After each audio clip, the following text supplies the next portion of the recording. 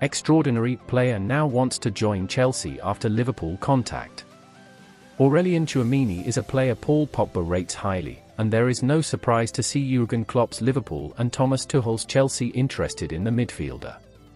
Manchester United midfielder Pogba told Ouest France in September 2021 that Tchouameni has extraordinary technical and physical quality. Pogba himself is one of the best midfielders in the world, and his speaking so highly of the AS Monaco youngster shows just how good he is.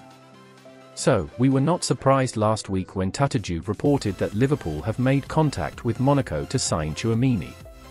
The France international is a very dynamic midfielder who would make Liverpool better in the middle of the park. And he is only 21. However, it is now being reported that Tchouameni wants to move to Chelsea.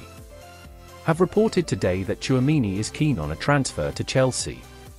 Liverpool, Manchester United, AC Milan, Inter Milan, Juventus and Paris Saint-Germain are also credited with an interest in the 21-year-old. Chelsea is reportedly planning to do a deal with Monaco now that will see him move to Stamford Bridge in the summer of 2022.